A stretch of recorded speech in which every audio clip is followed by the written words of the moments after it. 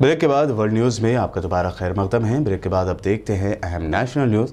वजी अजम नरेंद्र मोदी ने डी सी जी आई की जानब से दो टीकों कोवैक्सीन और कोविशील्ड के लिमिटेड इमरजेंसी यूज़ को मंजूरी दिए जाने के एक दिन बाद कहा कि देश में कोरोना वायरस को काबू करने के लिए दुनिया का सबसे बड़ा वैक्सीनेशन कैंपेन शुरू होने वाला है। उन्होंने मेड इन इंडिया वैक्सीन के लिए साइंसदानों और टेक्नीशियंस की तारीफ़ करते हुए कहा कि मुल्क को उन पर फ़ख्र है। उन्होंने कहा कि किसी भी प्रोडक्ट्स की क्वालिटी, उसकी क्वांटिटी जितनी ही अहम है। का गौरव बढ़ाने वाले हैं।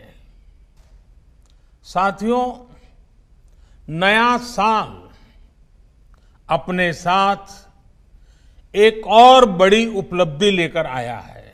समर्पण से आज देश में अपने इन साइंस इंस्टीट्यूशंस के प्रति जागरूकता और सम्मान का एक नया भाव पैदा हुआ है। हमारे युवा आज सीएसआईआर जैसे संस्थानों के बारे में और ज़्यादा जानना समझना चाह रहे हैं। कोरोना वैक्सीन को लेकर नए साल पर आई खुशखबरी के बाद एक जानब जहाँ आवाम में खुश खुशी की लहर है, वहीं उसे लेकर मुल्क में बयानों का सिलसिला थम नहीं रहा। ताज़ा बयान मध्य प्रदेश के सीएम शिवराज सिंह चौहान ने दिया है। उन्होंने कहा कि वो अभी कोरोना वैक्सीन का टीका नहीं लगवाएँगे। बीजेपी के सीनियर लीडर शिवराज सिंह के इस बयान के बाद उन पर तनकीदें की जाने लगी हैं। जिसके बाद उन्होंने सफ़ाई देते हुए कहा कि वो पहले टीका इसलिए नहीं लगवाएँगे क्योंकि जिन्हें फ़र्स्ट फ़ेज़ के तहत टीका लगाने का हक है, पहले उन्हें मौका मिलना चाहिए। कर्नाटक की बीजेपी हुकूमत ने हाल ही में गौ कृषि बिल 2020 को नाफिज करने का फैसला लिया है, जिसके खिलाफ अपोजिशन पार्टियाँ कांग्रेस और जेडीएस ने शदीद मुखालफत की। कई मुस्लिम दलित किसान तंजीमों ने भी बीफ पर बैन करने की बीजेपी हुकूमत के फैसले पर तशवीश ज़ाहिर की है। इसी कड़ी में अब बीजेपी के ही एक एम एल सी ने हुकूमत के फैसले की मुखालफत करते हुए खुद अपनी पार्टी को हैरत जता कर दिया है। कर्नाटक के सीनियर सियासतदानों में शुमार किए जाने वाले BJP M L C H H Vishwanath ने मैसूर में कहा कि एंटी गौकशी बिल पर हुकूमत को दोबारा गौर करना चाहिए। उन्होंने कहा कि यह मसला सिर्फ़ किसानों की, किसानों, किसी मज़हब या ज़ात का नहीं, बल्कि पूरे मल्क मुल्क का मसला है। गजा से जुड़ा हुआ मसला है, इसलिए हुकूमत इस बिल पर नज़रसानी करे। मोदी सरकार के एग्रीकल्चरल लॉस को लेकर हुकूमत और किसानों के दरमियान काफ़ी लंबे टाइम से रस्साकशी चल रही है। एग्रीकल्चरल लॉस के मुद्दे पर किसान तंजीमों और सरकार के दरमियान आज बैठक हो रही है। ऐसे में किसान तंजीमों के लीडर्स ने कहा है कि वो मीटिंग में मोदी सरकार के सामने नया ऑप्शन नहीं रखेंगे। इससे पहले एग्रीकल्चर मिनिस्टर नरेंद्र सिंह तोमर ने किसान तंजीमों से अपील की थी कि वो इन कवानीन में सुधार के लिए ऑप्शन दें। इस पर किसान नेताओं ने कहा कि वो मीटिंग में सरकार के सामने ऑप्शन नहीं रखेंगे। सरकार को तीनों नए कवानीन वापस लेने होंगे और सभी फ़सलों के लिए एमएसपी की कानूनन गारंटी देनी होगी। किसान लीडरों के मुताबिक इस आंदोलन के दौरान कई किसानों की मौत हो चुकी है, लेकिन सरकार इस मसले को इंसानी तरीके से हल नहीं कर पा रही है।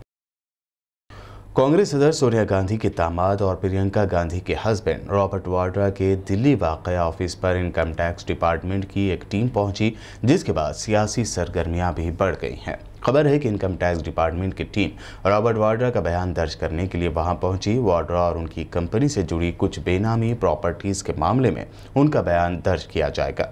इनकम टैक्स के जराये के हवाले से मीडिया में खबरें आई हैं कि साउथ ईस्ट दिल्ली में वाक़ सुखदेव विहार वाले ऑफ़िस पर रॉबर्ट वाड्रा का बयान दर्ज होगा। कांग्रेस से शिवसेना में शामिल हुई उर्मिला मातोंडकर और एक्ट्रेस कंगना राणावत के दरमियान जबानी जंग तेज हो गई है। कंगना के प्रॉपर्टी पर किए सवाल को लेकर उर्मिला मातोंडकर ने करारा जवाब दिया है और कंगना राणावत की एक मानों में बोलती बंद की है। इसके साथ ही एक्ट्रेस ने एक वीडियो जारी करते हुए कंगना राणावत को वाई प्लस सिक्योरिटी को लेकर शदीद तनकीद का निशाना बनाया। इससे पहले कंगना ने उर्मिला से सवाल किया था कि उनके नए ऑफ़िस के लिए तीन करोड़ रुपए कहाँ से आए। एक वीडियो क्लिप में उर्मिला ने कहा कि वो साबित कर सकती हैं कि उन्होंने कानूनी तरीके से जायदाद खरीदी है, जिसे आपकी पसंद की जगह और वक्त पर आकर वो इस प्रॉपर्टी के डॉक्यूमेंट शेयर कर सकती हैं। इतना ही नहीं, उर्मिला ने कंगना से आगे कहा कि आपकी सरकार ने आपको वाई प्लस सिक्योरिटी दी है, क्योंकि आपने उन्हें बता दिया था कि आपके पास एनसीबी के नामों की एक लिस्ट है। देश आपकी लिस्ट का इंतज़ार कर रहा है। और अब आखिर में हेडलाइंस पर एक और नज़र। वालेकुम, आदाब। मैं खलीफ राहत, तुर्क शहजादी और हैदराबाद के निज़ाम मीर उस्मान अली खान की बहू, प्रिंसेस नीलोफर की योम पैदाइश पर खसूस एपिसोड अपलोड हो चुका है। लिंक डिस्क्रिप्शन और कमेंट बॉक्स में दी गई है, ज़रूर देखिए और शेयर कीजिए। आइए अब वर्ल्ड न्यूज़ की शुरुआत करते हैं और सबसे पहले देखते हैं हेडलाइंस तुर्क सदर रजब तैयब अर्दवान ने अपोजिशन के बाहिजाब खवतान के बारे में दिया बयान। गुस्सा हुई अपोजिशन ने मचाया हंगामा। अर्दवान से माफ़ी मांगने का किया मुतालबा।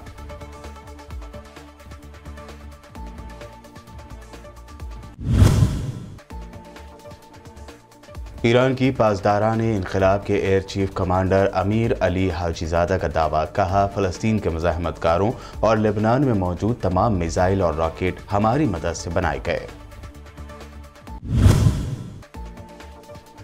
अफ़गानिस्तान के कल 5 जनवरी को दोहा में होगी तालिबान की बातचीत। अफगान सिक्योरिटी फोर्सेज ने एक ऑपरेशन में दो सौ छियासी तालिबान जंगजुओं को हलाक करने का किया दावा, तालिबान ने की तरदीद। मुल्क में शुरू होगा दुनिया का सबसे बड़ा Covid 19 vaccination campaign. PM Modi का ऐलान, कहा मुल्क के साइंसदानों और टेक्नीशियंस के ताउन पर है फकर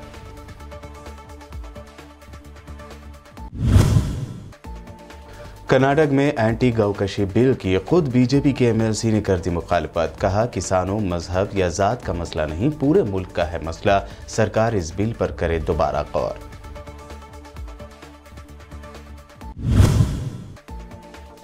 किसानों के लीडर्स ने फिर एक बार मोदी सरकार को दी वार्निंग। कहा, हुकूमत के सामने कोई ऑप्शन नहीं, वापस लेने ही होंगे ज़रिए कवानीन।